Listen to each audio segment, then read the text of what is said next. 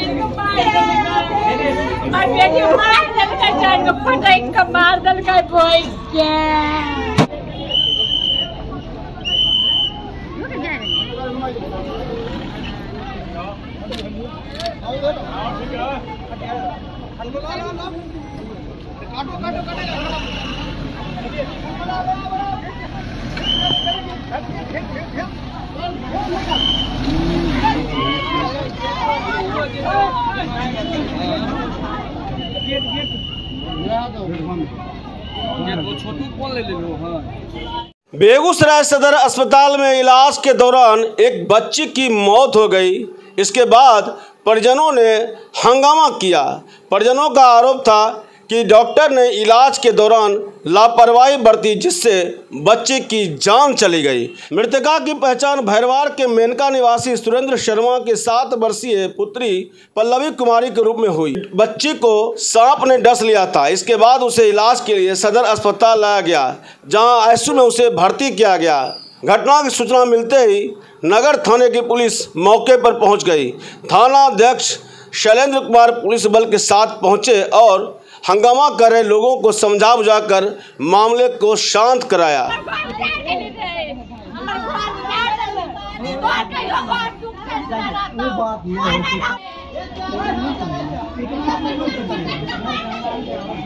दीजिए दीजिए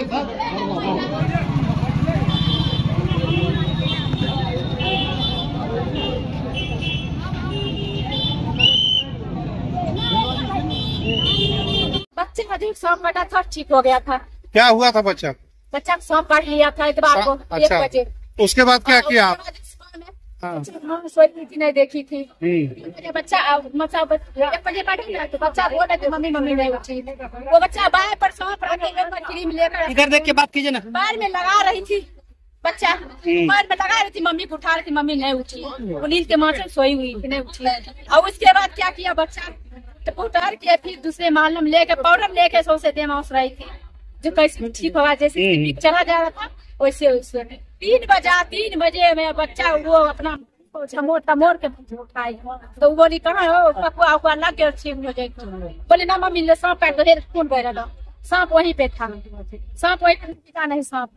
दवाई जो दवाई देना था वो दवाई पावर पावर का देकर क्लिनिक जो है तो उसको कभी तक बुखार तक नहीं लग रहा था उस बच्ची को। बुखार तक नहीं लगा।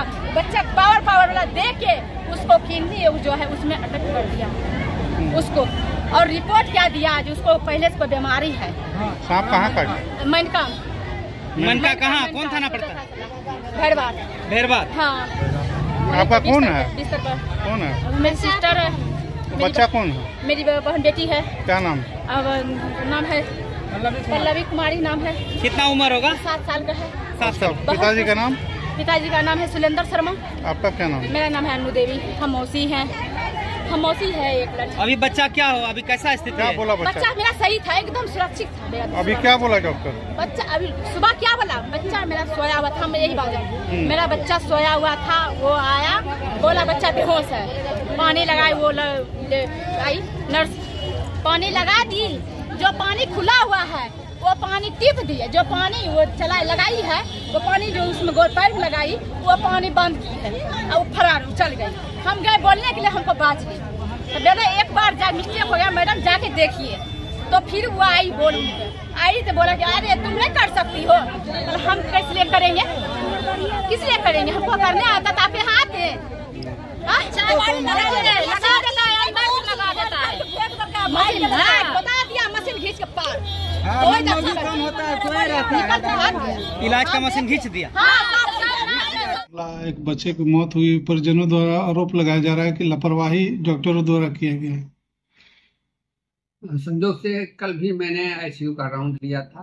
बच्चा काफ़ी सीरियस था स्नेक बाइट का केस था और उसको बहुत विलंब से लाया गया था बच्ची को। आ, उसका कुछ था और जो क्वैक वाला ट्रीटमेंट है, वो कराते कराते जब सीरियस हो गया तो यहाँ लाया गया। उसको यहाँ लाने के बाद आईसीयू में भर्ती किया गया और रोगी कल भी बच्ची क्रिटिकल थी। हमने कहा डॉक्टर से पूछा कि भाई ये इतना क्रिटिकल केस है तो इसको बचने की उम्मीद कम है। मैं भी फिजिशियन हूँ तो मैं समझता हूँ कि केस का क्या प्रोग्नोसिस होने जा रहा है। तो वहाँ पर उपलब्ध चिकित्सक ने कहा कि सर कहता है, जब हम कहाँ ले जाएँगे, जो होगा, सो होगा। और उसके बाद उस पर भेंट लगा हुआ था। मतलब विष का पूरा लक्षण था और चेस्ट में भी उसको इन्फेक्शन मतलब पेप्स था। तो आज एकाएक पता चला कि वो बच्चा के मरने के बाद परिजनों द्वारा हंगामा किया गया तो मैं जब वहाँ पहुँचा तो देखा कि बहुत आदमी गेट पर भीड़ लगाए हुए हैं और अंदर आईसीयू के अंदर आईसीयू का गेट का शीशा खोल दिए हैं और उसके अंदर घुस गए और नर्स और डॉक्टर, डर के मारे भाग गया। सबको जान बचाने का कर्तव्य हो जाता है जब इस तरह की स्थिति बन जाती है। और गार्ड्स जो थे वहाँ पर थे, इधर कुछ ओपीडी के नज़दीक शॉर्ट सर्किट हो गया था, उधर से इधर आए। तब तक में वो लोग काफ़ी हंगामा किए और जब हम गए तो उन लोगों को बाहर किए। बाहर करने के बाद उसकी माँ को समझाने का कोशिश किए कि, भाई, ये बच्चा तो कल से ही सीरियस था। आप लोगों को कहीं ले जाना था तो ले जाते और जब एक बार उसका ईसीजी देख करके, उसको डेट डिक्लेयर करके, उसको हैंड ओवर कर दिया गया था। बाहर में किसी असामाजिक तत्व ने उसको कहा कि, बच्चा ज़िंदा और फिर वो लोग आकर के ज़बरदस्ती बेड पर ले जा करके आईसीयू बेड पर लेटा दिया, और उसको बाई फोर्स कहा कि इसको भेंट लगा दिए भेंट लगा दिया गया, लेकिन वो स्टाफ भाग गया था। जब मैं गया तो देखा कि दो नौजवान जो है सो उसके अगल बगल में बैठे हुए हैं, एक औरत बैठी हुई है और ये लोग कह रहा है कि नौजवान कहा कि आप लोग खाली कीजिए तो कहते नहीं, हमको यहाँ रहने दीजिए सर। अजीब हाल है भाई, तुम लोग यहाँ रह करके क्या करोगे? खैर, किसी तरह से उन लोगों को परसुएट करके बाहर किया गया, उसकी माँ को समझा दिया गया कि बच्चा तो पहले ही मर चुका है, फिर दोबारा भेंट लगाने की कोई आवश्यकता नहीं थी और उन्होंने उनका आरोप था कि लापरवाही हुई है। तो मैंने कहा कि मैं तो कल से ही कल के पहले क्या था, वो मैं नहीं जानता। मैंने मैंने, मुझे जानकारी मिली है सेकंड हैंड लेकिन कल तो मैंने देखा था, कल ही ये बहुत सीरियस था तो आप कहीं ले जा सकते थे। और लापरवाही डॉक्टर के द्वारा हुआ या आपके द्वारा अगर किसी को सांप काट लिया जाता है तो मीडिया में सरकार द्वारा यही कहा जाता है कि उसको झटपट लेटा लेटा करके उसको चला करके भी नहीं लाइए और जल्दी से जल्दी डॉक्टर के यहाँ लाइए। और उसको लाने में जब तक विलम्ब किया जाता है तो वो विष अपने अपना जगह पकड़ लेता है। उसके बाद एंटीवेनम देने से भी उसको बाईस भाई एंटीवेनम चढ़ चुका था। उसके बाद भी उसको रिकवरी नहीं हुआ। तो ये तो फुल ये रिस्पॉन्सिबिलिटी उसके गार्जियन की है जिस जो उसके मौत के लिए जिम्मेदार है। हमारे यहाँ तो बराबर और एक बच्चा कल स्नेक का उसमें था ठीक है।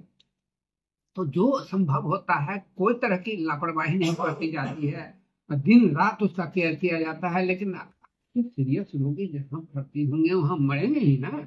ऐसा वर्ल्ड का कोई हॉस्पिटल है जहाँ की मोर्टलिटी ज़ीरो हो और उसमें खास करके इस तरह का नेग्लेक्टेड केस जिसको कि बाहर में झाड़ फूक कराने में सांप काटने के बाद रखे रहे और लास्ट में यहाँ ला करके तो ये बिल्कुल असामाजिक ढंग के ये लोग हैं और इस पर विधि सम्मत कार्रवाई भी करें। जो लोग इसमें असामाजिक तत्व घुस करके हंगामा किए और जो भी क्षति पहुँचाए अस्पताल का, उसके उसको एक